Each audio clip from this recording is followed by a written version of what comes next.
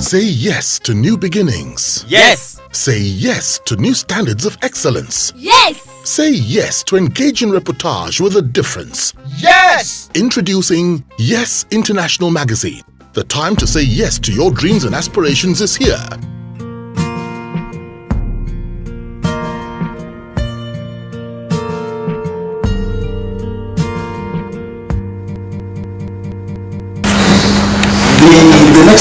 Edition Yes. is almost here. Between when and when is it happening, sir? Yes, from the 22nd of July, that's a Monday, to the 28th Sunday okay. of July. Okay. Yeah, this is going to be, if I'm not mistaken, the 17th edition. What should people expect this time? More of everything. God has been so faithful. We've seen, by His grace, 16 successful Azusas. Testimonies abound. People have been so lifted, revived, miracles. So, but uh, this will be like no other. It's the beginning of another level of Azusa. We're, we're, we're faced with now. Alright, I, I- would like to find out from you who and who because I know that over the years we've always had different ministers of God coming to talk to the people of God. Who and who are we having this time? We're going to start having a Pastor Ayo. Are you Bishop for for yes, and also uh, Reverend uh, Sam Tukura. Okay. He's from here. Uh, Bishop Godio Kafu. Okay. He lives in Aba. He has a church in Aba there. I have another apostle, Howard Hines from South Africa. Yeah, then uh, other, a lot of other uh, speakers. Okay, I, I understand that some gospel artists are also going to take part in this Yeah, year's. we- we're going to have yeah, over 20 of them. Okay, who are From Chioma Jesus to Frank Edwards to Mercy Chinwo to Judu K to Wole Oni. Okay. Felix Duke, Rugged Man, Righteous Man, uh, so many of them. Or I, I want to take you back a little. What do you normally consider before arriving at the choice of ministers you normally invite to come and uh, minister? Yeah, I'm very careful because of the times we're in. There's so many strange ministers who are preaching so many different doctrines. So I make sure that the people I, I invite are people who know that we need a revival. You know, uh, this is not a place for entertainment or motivation speaking. It's not a place, it's not a conference of motivation.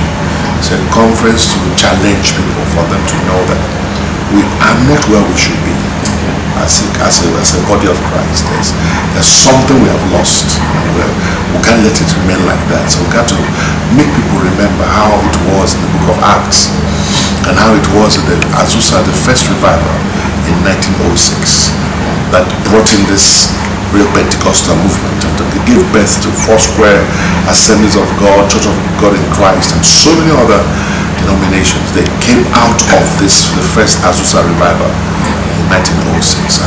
And, that's the kind of thing we're looking at. The time is short. Jesus is coming back soon and we can't keep playing church. So we need to visit what used to happen and believe God for even a greater happening this time. Uh, all right. Before we come back to Azusa again, you said something that I would like to take you up on. Repeatedly, people have always said, you know, that they keep hearing that Jesus is coming, Jesus is coming, yet he hasn't come. When exactly is Jesus going to come? Nobody knows when he will come. In fact, the Bible says that some have said because he has not come all this time that he may not come again. But the Bible tells us that his coming will be like a thief in the night. You know, and that, that knowledge nobody has except the Father. You know, and the Bible says that it's not really for any man to perish. And that's why he has not come all this while because the love of God doesn't want to see people in hell. And once it comes, all those who are outside of him are, are lost for life. So he's allowing people in more time, you know, to get them to be come in contact with the gospel and repent because that's what it's all about. The, the, the desire of God is to see people repent, accept Jesus as their Lord and Savior, and then everything, all other things will follow. All right. I, I would like to find out from you, in 16 years of Azusa, what hasn't God done that you'd like him to do in this Oh, no, 17th edition? The fact is that I've not seen the I've not seen what I what I what he has put in my heart about this Azusa. You know, is supposed to be heralding a major revival. That has not happened. It has happened to some individuals because some have caught the fire and are running with it. But we're talking at a time where it will affect not just the church, but the nation. When when crime, when, when Jesus will affect crime and affect kidnapping and affect uh, that's that's what revival is all about. Everything is affected. When there's a presence of when the move of God affects everything. Some countries that experience revival have had their prisons cleaned out. You know, policemen were jobless. You know, because there was no no evil boys. Everybody had been touched by God and you know that's kind of thing. It affects the crop, it affects agriculture, it affects every aspect of life. Oh, all right. In the 16 years that we have had Azusa, what would you describe as the greatest miracle? One singular miracle that it's, God has done. It's hard. It's hard for me because I've, I've seen many. That that these twins are 14 years old now. They were here doing our one of the Azusas. That, that's about um, about the Azusa. That was the third one or so. They're twins. The mother was barren for many years, and they came from Aba, our church in Aba. In the left hand, got two kids twins. Now they have they're 14 years. Okay, maybe it's 15 now. You know, and there's so many other things. That people have encounters are, are, are, are numerous. People have had revelations of many, many supernatural things. So I, I, I, I can't even zero one out because all of them have their own pattern.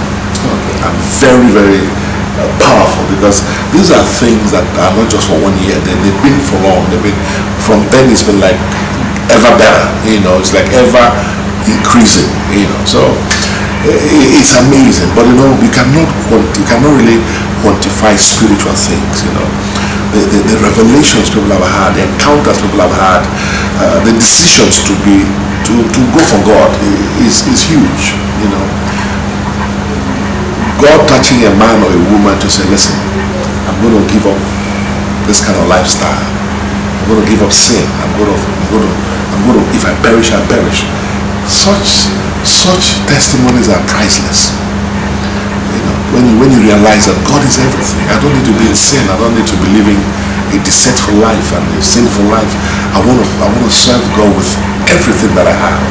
That's powerful because most people don't want to do that. Most people want to hold on to some things and still hold on to God. So they're just like that for years and for years and you know, but it, it gets to a time when God says, listen, I want on. You know, let go of this lifestyle, let go of this thing, let go of these people, and follow me. Take up your cross and follow me. That's a basic thing about Christianity. You know, you cannot have your life and live it. You have to lose your life to get it. Okay. I would like to find out from you if by chance, let's say you're walking along the road and somebody happens to meet you, someone is opportune to meet you, and the person says to you, Oh, Apostle I'm so happy to to meet you.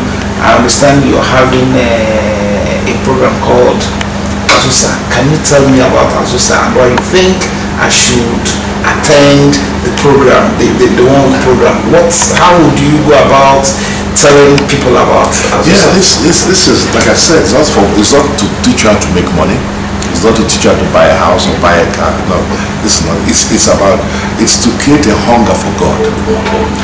For those who are tired, you know, who want to see God, they want to, they want to have an encounter. They want, they don't want religion. They don't want something that is empty.